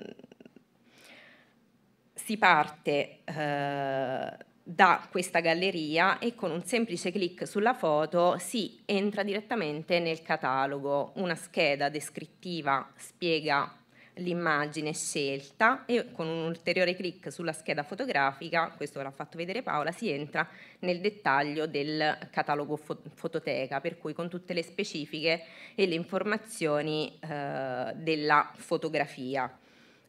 Ho scelto questa prima immagine eh, di Renato Sanzaini perché ehm, per mm, dimostrarvi questa prima foto, che è una stampa alla gelatina di sali d'argento con dettaglio del Parnaso, Apollo e le Muse, perché condensa un po' in sé quanto vi ho raccontato fino ad ora. Quando nel settembre del 2018 ho iniziato a lavorare in fototeca, il primo fondo che mi è stato assegnato da riordinare è stato proprio il fondo avvenimenti, in cui confluisce la partizione denominata mostre, ovvero il materiale di documentazione, di studio o il materiale necessario a strutturare il catalogo della suddetta mostra e mi sono occupata di riordinare e catalogare il consistente materiale fotografico che è stato utilizzato per la grande mostra Raffaello in Vaticano che si è tenuta al braccio di Carlo Magno nel 1984, proprio il cinquecentenario della nascita del pittore Urbinate, quindi un, file, un filo continuo che si dipana questo delle celebrazioni. L'idea è nata un po' da qui, quasi per caso, di celebrare Raffaello attraverso la fotografia storica. Ed è poi arrivato fino al progetto che oggi si inaugura la gran mole di materiale presente in fototeca e i permessi di accesso concessi alla direzione tra il 1860 e il 1954 attestano proprio come nella fase pionieristica della fotografia da almeno tutto il terzo decennio del Novecento le opere vaticane di Raffaello siano state al centro dell'interesse di artisti, copisti e fotografi. E Raffaello è stato il primo artista ad essere fotografato in Vaticano perché nel 1860 iniziano le prime concessioni, i fotografi erano interessati interessati più che altro alla statuaria, alle mh, opere classiche. Il primo pittore su cui invece rivolgono il, il loro interesse è Raffaello, prima ancora di Michelangelo. Il primo in assoluto a fotografarlo è stato Pietro Dovizielli, ma dopo di lui arriveranno tutti i fotografi noti che già mh, Paola vi ha presentato, i fratelli Aninari, i fratelli eh, Giacomo e Domenico Anderson, Giacomo Broggi, Michele Danesi, Giuseppe Felici, Romualdo Moscioni e i Sanzaini, che hanno segnato il definitivo successo della nuova disciplina come mezzo di riproduzione, documentazione e diffusione. Il percorso virtuale della mostra eh, si dipana tra 68 eh, tra eh, stampe e negativi dedicati al divin pittore Urbinate e non poteva dalle, mm, non poteva non partire dalle stanze prescelte da Giulio II come suo appartamento, tanto iconiche da essere appellate proprio col suo nome ma più in generale una prima sezione è dedicata dipin- agli, mh, alle grandi cicli pittorici di Raffaello in Vaticano ed una seconda sezione alle opere mobili di Raffaello tra spostamenti ed allestimenti. Le stampe fotografiche vogliono essere anche significative della situazione degli ambienti nelle stanze, qui siamo al 1894, e forniscono dettagli curiosi sugli arredi dell'epoca, come questi divani che vediamo presenti nella stanza della segnatura, ma anche nella stanza di Eliodoro, o uh, come la eh, fotografia ci testimonia allestimenti non più presenti, come questo mosaico policromo romano che era collocato nella stanza dell'incendio di Borgo, poi successivamente spostato. La fotografia si dimostra quindi uno strumento prezioso di documentazione e memoria inconfutabile di realtà e contesti di cui si sono perse le tracce. Le stampe fotografiche esposte vogliono essere anche semplificative dell'evoluzione stessa del mezzo fotografico e delle tecniche messe a punto per consentire una visione delle opere sempre più raffinata e con una tale capacità di finitura da consacrarsi presto come strumento di raffigurazione per eccellenza.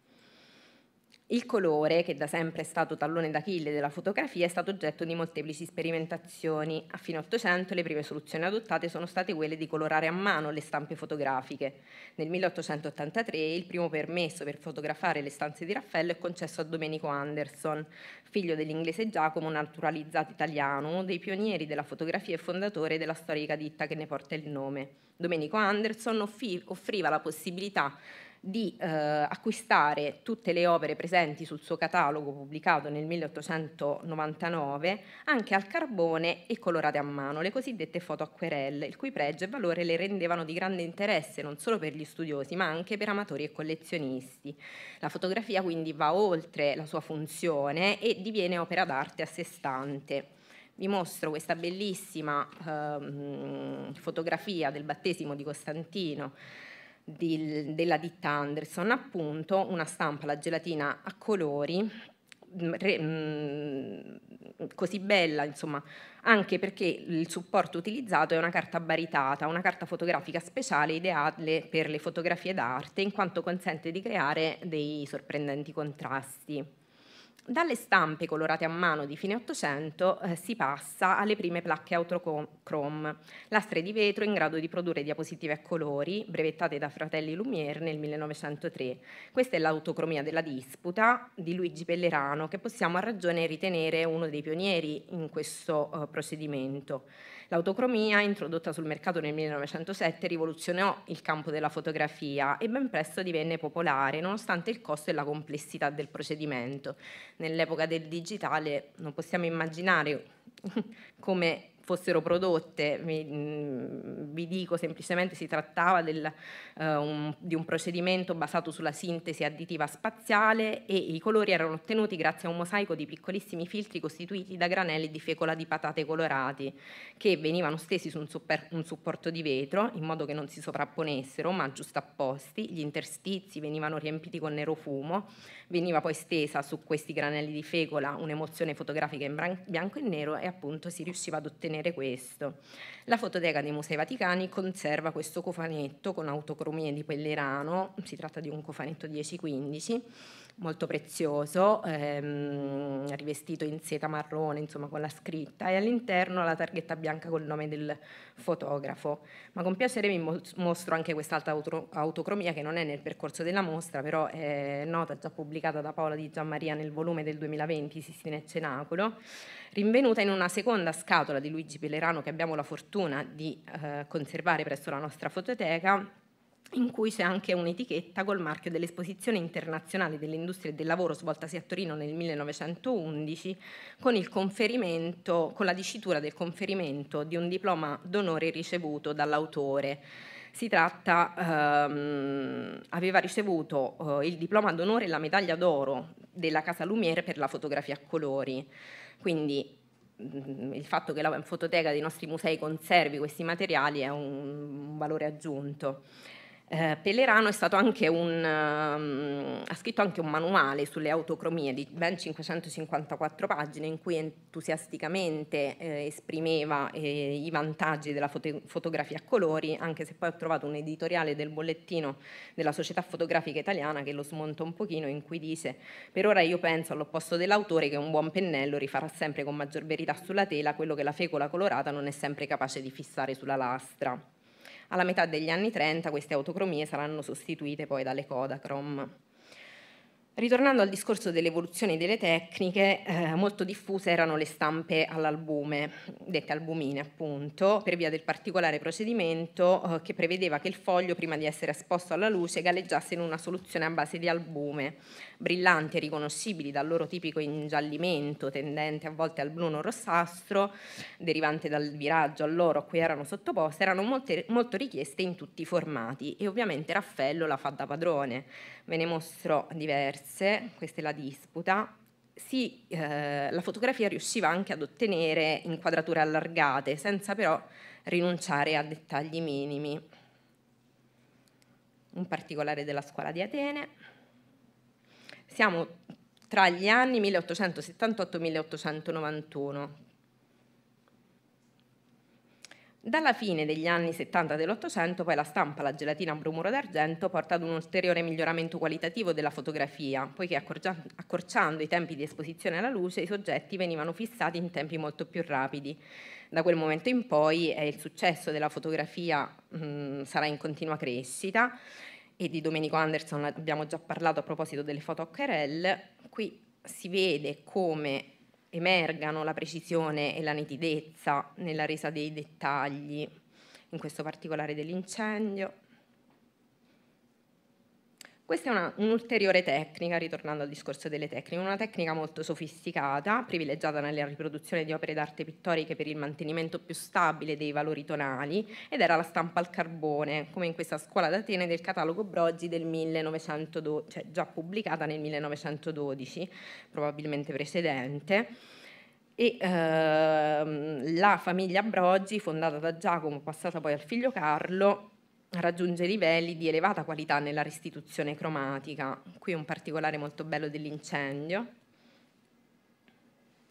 Passando ad altro, avremmo volentieri esposto eh, in mostra questa pubblicazione accuratamente restaurata per l'occasione dal laboratorio Restauro Carta, le stanze di Raffaello parte prima, stanza della segnatura, voluta da Benedetto XV per il quarto centenario della morte di Raffaello, quindi le celebrazioni che tornano, è fatta realizzare e pubblicare nel 1921 dalla ditta di fotografi danesi. Nel percorso digitale della mostra abbiamo inserito la copertina in due tavole, ma qui volentieri vi mostro le pagine di introduzione di Bartolomeo Nogara, direttore dei musei, e la prefazione in cui è spiegata l'importanza del volume che riproduce la stanza in tutti i particolari, sia nelle grandi composizioni che nei fregi e nelle decorazioni. Le tavole sono eseguite in fototipia, da negative fatte espressamente senza alcun ritocco, in modo da poter conservare inalterata la bellezza della forma e la tecnica della pittura, con un'esattezza e fedeltà mai vedute e mai studiate, in particolare di così grande formato. Grazie ai permessi è possibile collocare l'esecuzione degli scatti nel luglio del 1919. Le fotografie necessarie alla pubblicazione vennero effettuate da Remo Danesi, figliastro di Cesare, a sua volta uno dei due figli del fotografo napoletano Michele Danesi, capostipite della ditta omonima, esperta nella riproduzione di opere d'arte che successivamente si converte anche a casa editrice, quindi questo volume aveva avuto successo.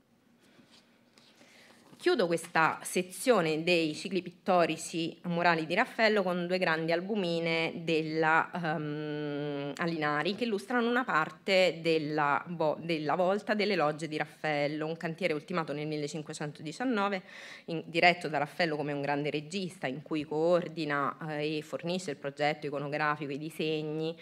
e coordina i giovani della sua bottega. Delle 52 scene che eh, compongono eh, quella che Paolucci ha eh, definito la Bibbia di Raffaello, si è scelto questi due particolari, le storie di Isacco nella quinta campata e le storie di Cristo della tredicesima. Sono attribuite alla ditta Linari e Cook, con studio romano in via del Corso, che è documentata nelle logge la prima volta nel 1878, poi nel 1881 e nel 1888, per cui questo è l'arco temporale di queste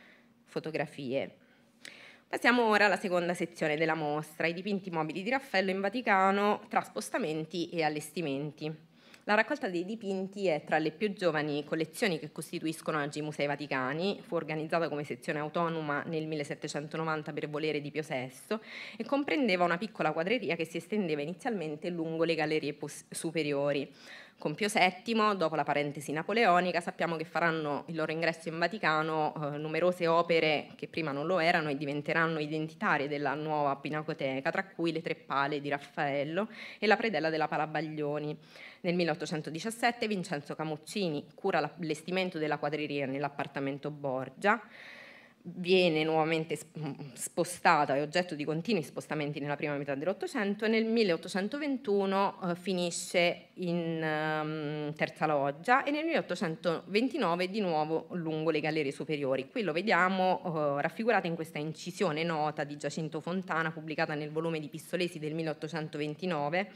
del Vaticano descritto e illustrato che però vi mostro perché di fatto l'uso del mezzo fotografico in questi anni, quindi sul fine dell'Ottocento, già dalla metà dell'Ottocento, ma intorno al 1880, si intreccia molto con l'incisione, fino a diventarne il completamento e poi il superamento ehm, nella seconda metà dell'Ottocento. La quadreria passa poi nel 1833 per, eh, nell'appartamento di San Pio V, successivamente al Palazzo Apostolico di eh, San Giovanni in Laterano,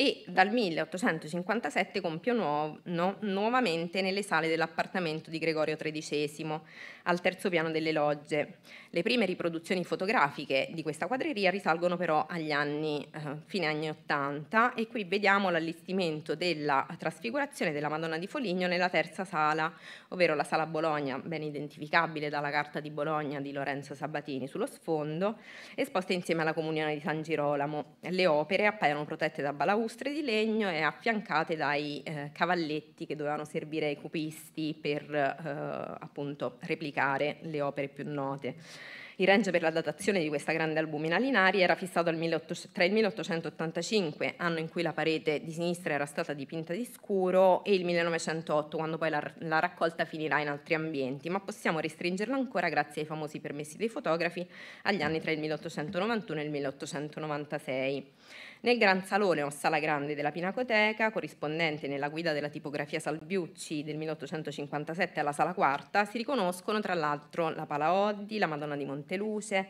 l'incoronazione della Vergine di Pinturicchio, la resurrezione di, Pin- di Perugino, la Pala dei Decembri, il Trittico Rospigliosi, esposti di taglio probabilmente con le cornici incernierate a parete. La presenza del trittico Rospigliosi ci dà il termine um, per la datazione di questa immagine perché era stato donato a Leone XIII per il suo giubileo sacerdotale del 1888 che è quindi il termine post-quem. In questa albumina Linari la Palaoddi velocemente, era stata commissionata nel 1503 da Alessandra di Braccio Baglioni per la um, cappella Fran- della chiesa di San Francesco a Prato a Perugia e non è tornata sul suo altare dopo le requisizioni napoleoniche ed apre le, eh, la sequenza di opere nella vita del Vasari di Raffaello. La predella della Pala Oddi insieme alla predella della Pala Baglioni così eh, esposta, quindi con le virtù sovrapposte una sull'altra, e la fotografia ci testimonia questo, erano esposte nella sala 2 di quella eh, pinacoteca di Pio IX, mm, riservata ai piccoli formati. Della trasfigurazione di Raffaello abbiamo scelto questa bellissima eh, lastra Mossoni, eh, una lastra databile al 1884 quando il fotografo ottiene il primo permesso per fotografare le opere mobili di Raffaello ed è già disponibile nel suo catalogo di vendita del 1885. Siamo nel passaggio decisivo dal collodio alla gelatina di cui ha parlato Paola di, di Gianmaria, ma il livello qualitativo di riproduzione e narrazione dell'opera raggiunta da questo fotografo è veramente altissimo. Mi dispiace perché in un'esposizione dal vivo l'avremmo eh, presentata, esposta retroilluminata, per cui si poteva veramente godere, però devo dire che rende benissimo anche la sua scansione. Una stampa Mossoni, sempre ante 1885, della Madonna di Foligno, l'opera dipinta tra il 1511 e il 1513 a funzione di ex voto. La fotografia purtroppo um, colpevole l'assenza del colore non rende giustizia a quanto più decantato dalla critica in quest'opera, quindi i bagliori di luce, il colore e la gamma cromatica vicina ai ferraresi, dossodossi, la pittura tonale veneta, però senz'altro emerge dalla fotografia la naturalezza che è l'equilibrio raggiunto da Raffaello tra narrazione e visione, tra celestiale e terreno, in un incrocio di luci differenti per origine e intonazione l'angioletto al centro della stessa opera in quest'albumina Linari, tanto per mostrare come uno dei soggetti più replicati dell'Urbinate, eh, su cui si sono cimentati tutti i fotografi fin qui nominati, tanto da farlo diventare quadro, quadro nel quadro. E concludiamo questa carrellata di fotografie con il trasferimento e trasporto della trasfigurazione di Raffaello dalla Pinacoteca di Pio IX alla Pinacoteca di Pio X. Siamo al 1908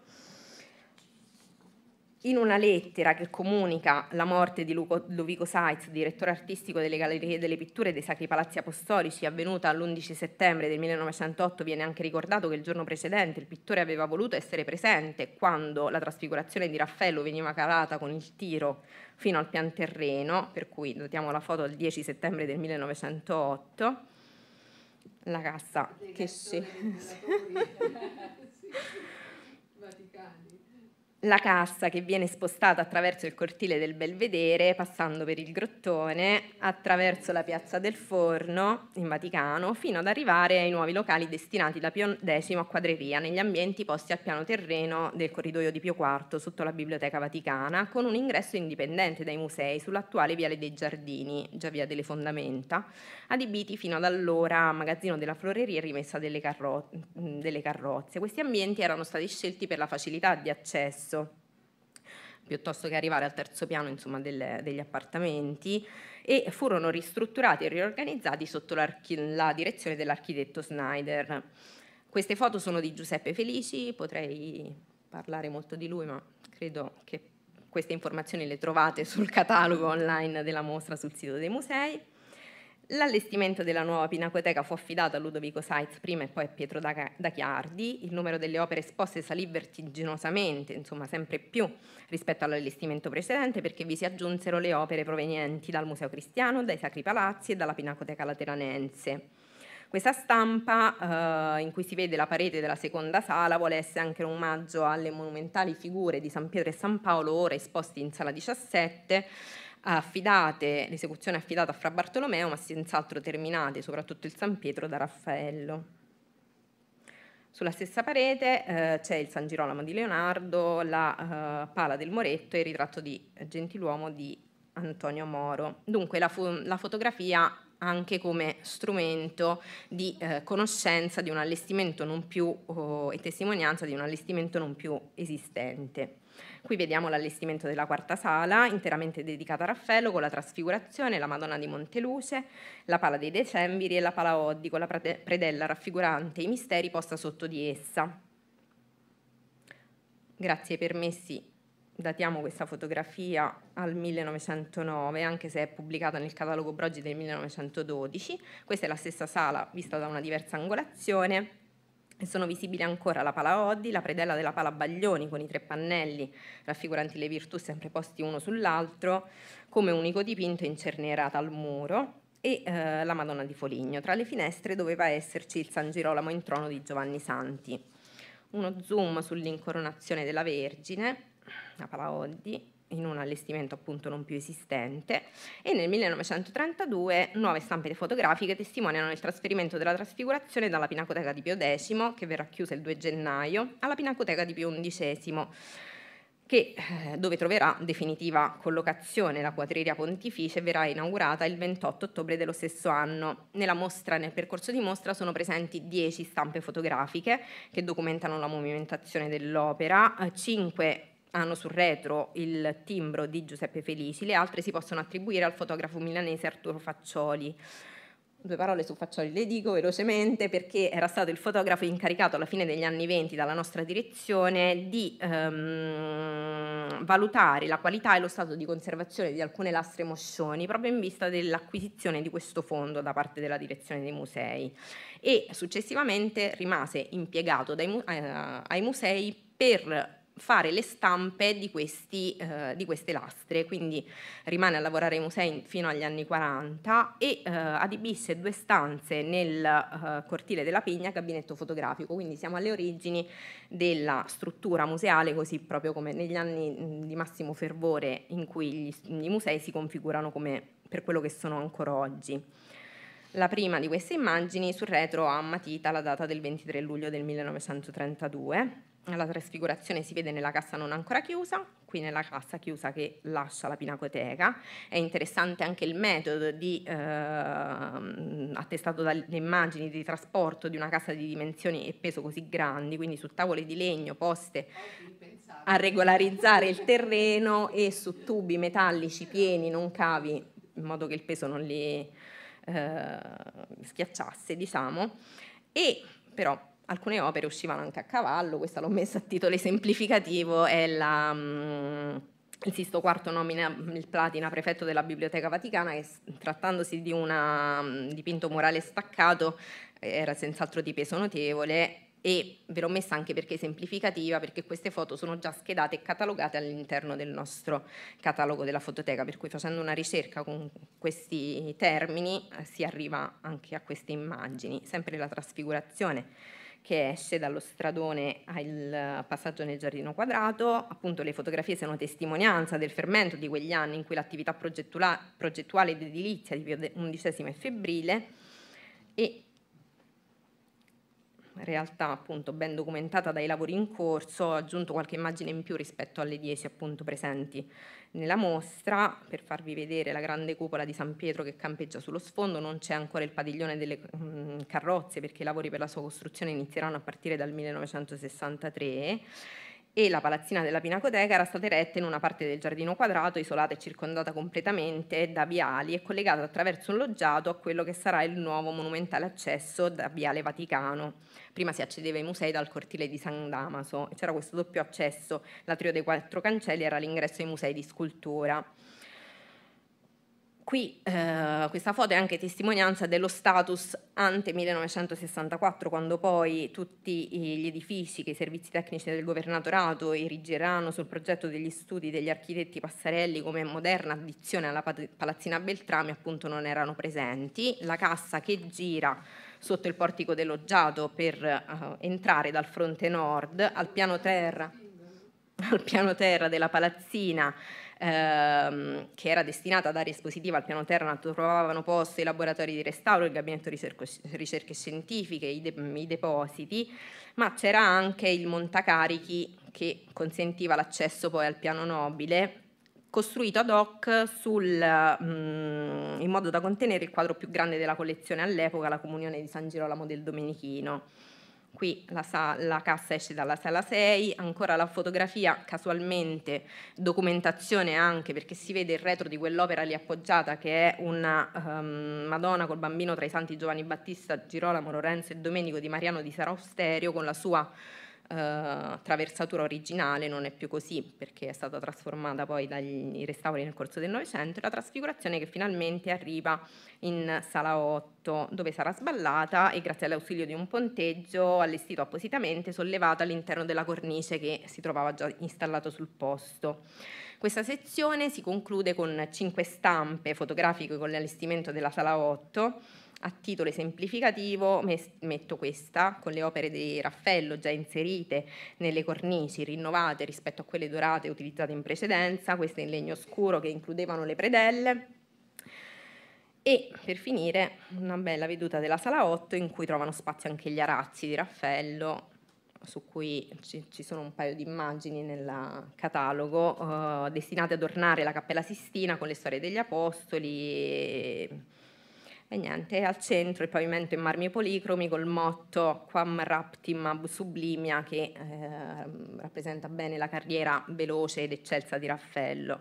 Non posso che ringraziare tutti dell'attenzione e augurarvi buona visita virtuale.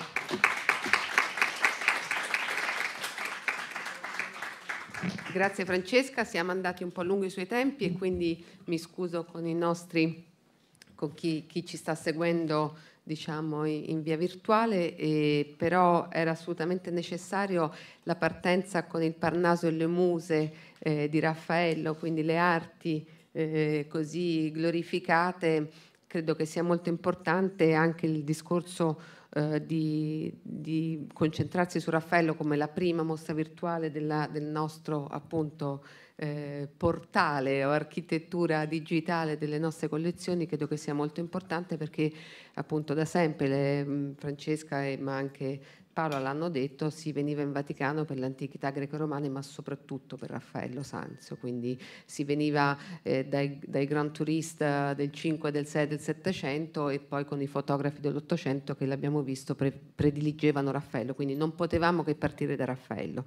Io ringrazio tutti ring- eh, ricordando e ringraziando eh, Alinari e anche l'Archivio Felici, l'Archivio Alinari e l'Archivio Felici per il supporto che ci hanno dato per questa eh, nostra mostra digitale, ma soprattutto voglio ringraziare i relatori eh, che con, eh, con, me hanno presentato questo importante progetto, Luca della Giovanpaola, eh, Paola Di Gianmaria, Chiara Fornaciaria Passano, Francesca Martuscello, ma soprattutto tutti gli altri reparti coinvolti, appunto dalla direzione in via più generale, Monsignor Nicolini e Roberto Romano, Guido Cornini, eh, che è stato già ricordato, ma anche gli uffici stampa, l'ufficio web multimedia, l'ufficio